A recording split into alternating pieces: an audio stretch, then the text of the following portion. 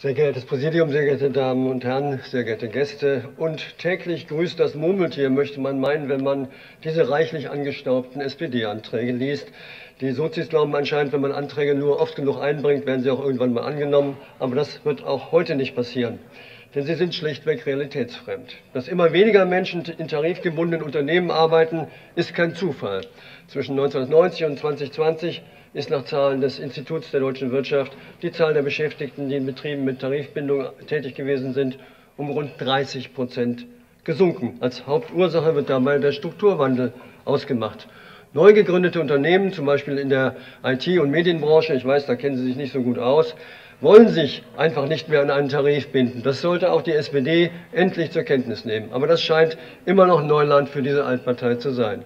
Hinzu kommt, die Bindungskraft der Gewerkschaften ist während desselben Zeitraums noch stärker zurückgegangen. 1991 waren 14 Millionen Beschäftigte in einer der großen Gewerkschaften organisiert. Doch bis 2020 hat sich diese Zahl auf 7 Millionen halbiert.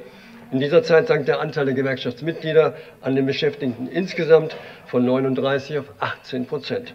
Das mag die SPD bedauern, aber besser täte sie daran, die Gründe für diesen Trend auszumachen und entsprechende Konsequenzen zu ziehen.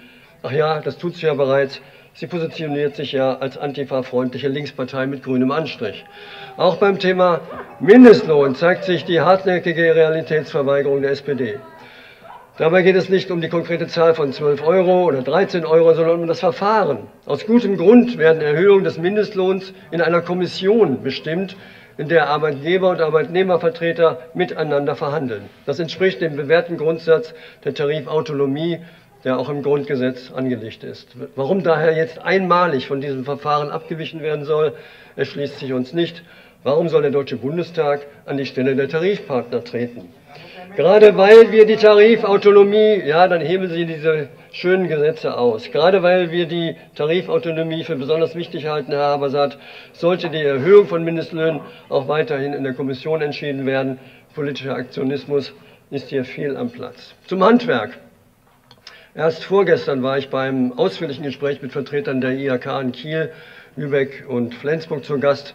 Thema war die berufliche Bildung. Es herrschte völlige Übereinstimmung darüber, dass die Vorteile der beruflichen Bildung noch besser kommuniziert werden müssen, auch in den Schulen, um dem Trend zur Akademisierung entgegenzuwirken. Unser Motto heißt seit jeher Meister statt Master. Denn wir brauchen deutlich mehr Fachkräfte im Handwerk, Industrie und Gewerbe, um Schleswig-Holstein nach vorne zu bringen. Dazu benötigt das Land ein flächendeckendes Angebot von Berufsschulen, zu dem auch deren gute Erreichbarkeit mit Auto oder ÖPNV gehört. Ein Azubi-Ticket ist wünschenswert. Das Chip ist eine gute Idee, muss aber dringend mit mehr Leben gefüllt werden. Es ist aber positiv, dass die berufliche Bildung im Wirtschaftsministerium angesiedelt ist. Dort gehört es hin, dort genießt es die richtige Wertschätzung, dort soll es auch nach der Wahl bleiben. Der SPD-Antrag listet einfach alle Themen, die gerade so angesagt sind, auf.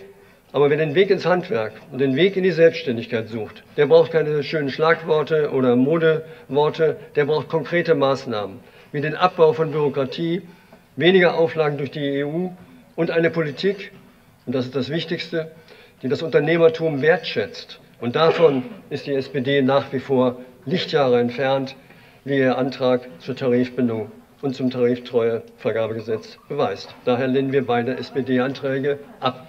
Danke.